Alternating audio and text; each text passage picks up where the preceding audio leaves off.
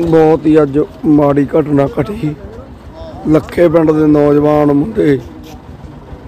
ਨੌਜਵਾਨਾਂ ਨੂੰ ਅੱਗੇ ਵੀ ਪੀਲਾਂ ਕਰਦੇ ਰਹਿੰਦੇ ਆ। ਬਹੁਤ ਦੇਖੋ ਕੱਲੇ ਕੱਲੇ ਮਾਪਿਆਂ ਦੇ ਪੁੱਤ ਹੁੰਦੇ ਆ। ਕਿੱਡੀਆਂ ਕਿੱਡੀਆਂ ਮਾਪਿਆਂ ਨੂੰ ਆਸਾਂ ਹੁੰਦੀਆਂ ਤੁਹਾਡੇ ਤੋਂ। ਅੱਜ ਜਨਮ ਦਿਨ ਮਨਾ ਕੇ ਆ ਰਹੇ ਸੀ ਮੱਲੇ ਤੋਂ।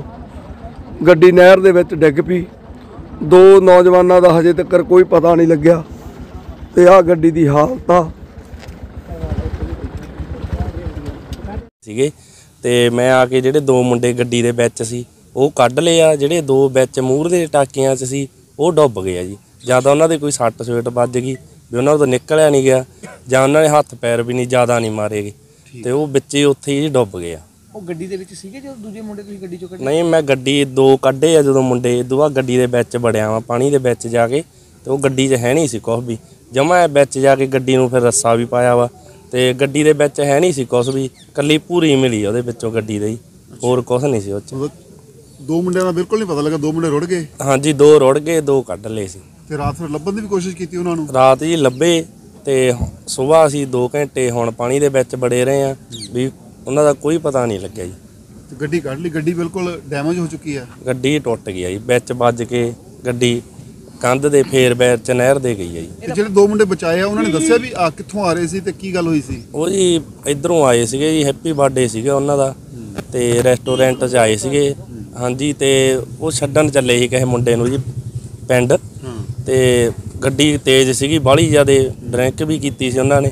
ਤੇ ਕੰਟਰੋਲੋਂ ਬਾਹਰ ਹੋ ਗਈ ਗੱਡੀ ਤੇ ਨਹਿਰ ਦੇ ਵਿੱਚ ਜਾ ਡਿੱਗੀ ਸੀ।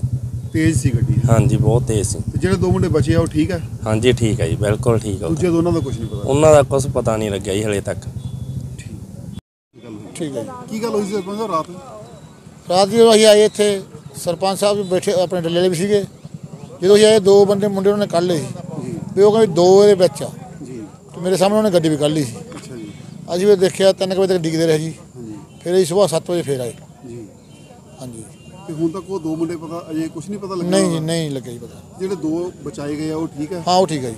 ਉਹਨਾਂ ਦੀ ਹਾਲਤ ਠੀਕ ਹੈ ਬਿਲਕੁਲ? ਹਾਂਜੀ ਹਾਂਜੀ ਜੋ ਤੇ ਪੁਲਿਸ ਕਰ ਰਹੀ ਹੈ ਸਹਿਯੋਗ? ਹਾਂਜੀ ਪੂਰਾ ਹੀ ਪੁਲਿਸ ਦਾ ਸਹਿਯੋਗ ਹੈ ਜੀ। ਕੁਝ ਪਤਾ ਲੱਗਿਆ ਇਹ ਕਿੱਥੋਂ ਆ ਰਹੇ ਸੀ ਤੇ ਕੀ ਕਰਕੇ ਆ ਰਹੇ ਸੀਗੇ? ਪਾਰਟੀ ਪੂਰਟੀ ਸੀ ਜਾਂ ਕੋਈ ਦੇਖੋ ਜੀ ਮੇਰੇ ਧਿਆਨ ਤਾਂ ਇਹ ਮੜੀ ਖਬਰ ਵੀ ਇਹ ਆਪਦਾ ਮੁੰਡਾ ਜਨਮ ਦਿਨ ਮਨਾਉਣ ਆਇਆ ਸੀ ਇੱਥੇ ਮੱਲੇ।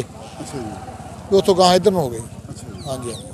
ਤੇ ਰਸਤੇ ਫਿਰ ਗੱਡੀ ਤੇਜ਼ ਕਰਕੇ? ਤਾਂ ਗੱਡੀ ਸਪੀਡ ਵੱਧ ਸੀ ਗੱਡੀ ਦੀ। ਹਾਂਜੀ। ਹਾਂਜੀ। ਮਤਲਬ ਕਿ ਇਹ ਮੋੜ ਖਤਰਨਾਕ ਹੈ ਜਾਂ ਕੋਈ ਬ੍ਰੇਕ ਨਹੀਂ ਲੱਗੀ ਹੈਗੀ? ਦੇਖੋ ਜੀ ਬੇਕੰਟਰੋਲੀ ਹੋ ਗਈ ਗੱਡੀ ਪਤਾ ਨਹੀਂ ਸਪੀਡ ਵੀ ਉੱਪਰ ਵਾਲੀ ਸੀ। ਹਾਂਜੀ। ਉਹਦੇ ਕਰਕੇ ਹੋ ਗਿਆ? ਹਾਂਜੀ ਹਾਂਜੀ।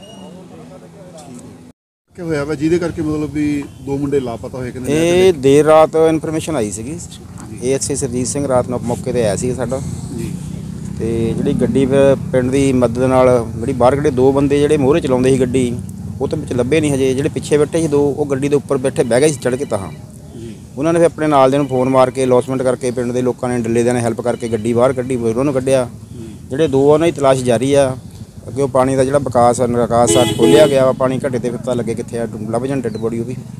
ਤਲਾਸ਼ ਜਾਰੀ ਹੈ ਇਹਨਾਂ ਦੀ। ਇਹ ਕੁਝ ਪਤਾ ਲੱਗਿਆ ਕਿੱਥੋਂ ਆ ਰਹੇ ਸੀ ਤੇ ਕਿੱਥੇ? ਇਹੋ ਜੀ ਪਿੰਡ ਇਹਨਾਂ ਦਾ ਲੱਖਾ ਸੀ ਚਾਰਾਂ ਦਾ ਹੀ। ਜੀ। ਤੇ ਇਹੋ ਪਾਰਟੀ ਕਰ- ਕਰਨ ਗਏ ਸੀਗੇ ਦਾ ਬਰਥਡੇ ਸੀ ਕਿਸੇ ਮੁੰਡੇ ਦਾ ਜਿਹੜਾ ਗੱਡੀ ਚਲਾਉਂਦਾ ਸੀ ਸ਼ਾਇਦ ਉਹਦਾ। ਅੱਛਾ ਜੀ। ਤੇ ਉਹ ਪਾਰਟੀ ਤੋਂ ਵਾਪਸ ਆਉਂਦੇ ਸੀਗੇ। ਅੱਛਾ। ਹਾਂ। ਜਿਹੜੇ ਦੋ ਮੁੰਡੇ ਬਚੇ ਆ ਉਹ ਠੀਕ ਹੈ ਜੀ? ਹਾਂ ਉਹ ਠੀਕ ਹੈ ਇੱਕ ਦੇ ਨੱਕ ਤੇ ਸੱਟ ਹੈਗੀ ਆ ਤੇ ਇੱਕ ਠੀਕ ਹੈ ਠੀਕ ਹੈ